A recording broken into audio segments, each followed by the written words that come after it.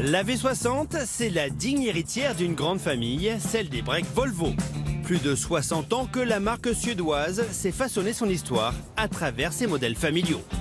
À l'époque, le design Volvo, ça ressemble à ça. Une voiture taillée à la serpe, le côté armoire normande, c'est comme si un enfant avait dessiné cette 240, une voiture pratique, volumineuse, comme si on avait voulu charger cet élan à l'intérieur. Et puis, au fur et à mesure du temps, les choses ont évolué avec cette 850 T5R qui a participé au championnat Super Tourisme, le seul break au monde à avoir participé à ces courses.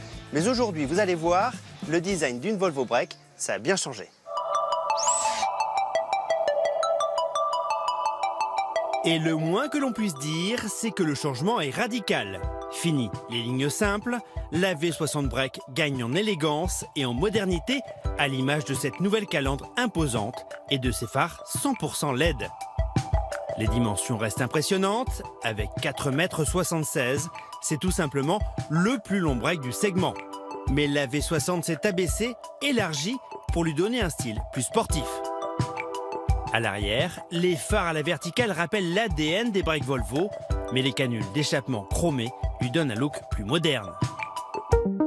À l'intérieur, aucun plastique, que des matériaux de qualité avec du bois, du cuir surpiqué et des chromes. Le tout complété par un magnifique écran tactile vertical. La V60 Break, c'est tout simplement le plus beau design actuellement. À l'arrière, même ambiance limousine avec les plus grandes places du marché et toujours ce côté techno avec la climatisation réglable individuellement. Un design plus moderne, mais chez Volvo, on n'a pas oublié le côté pratique du break avec cette ouverture facile, un simple passage de pied, le coffre s'ouvre tout seul, 529 litres tout simplement, le plus grand du segment et une voiture très modulable en appuyant sur ces boutons pour pouvoir rabaisser les sièges et obtenir un maximum de place.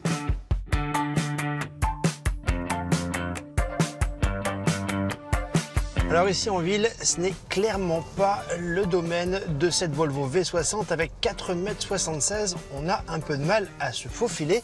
Fort heureusement, on a un maximum d'aide à la conduite et notamment au stationnement. Il suffit d'appuyer sur ce bouton. Je mets mon clignotant à gauche pour indiquer à la voiture que je veux me garer à cet endroit. Le créneau détecté, il ne me reste plus qu'à passer la marche arrière, appuyer sur l'accélérateur. Voilà, un petit coup de marche avant. Et on y est. Un dispositif complété par une vision 360 degrés extrêmement pratique.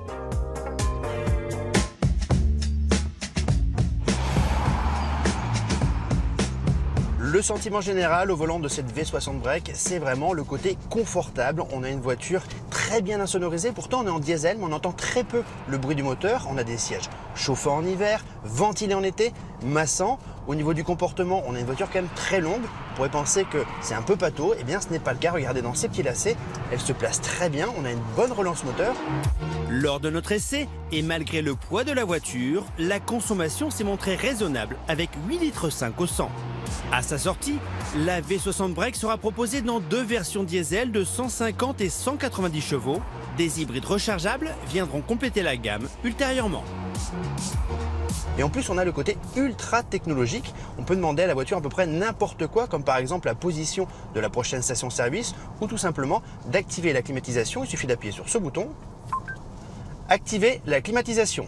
Activation de la climatisation. Voilà, ça s'est fait tout seul, c'est vraiment magique. Une voiture toujours plus connectée avec l'adoption d'un système de conduite semi-autonome et ce, jusqu'à 130 km/h.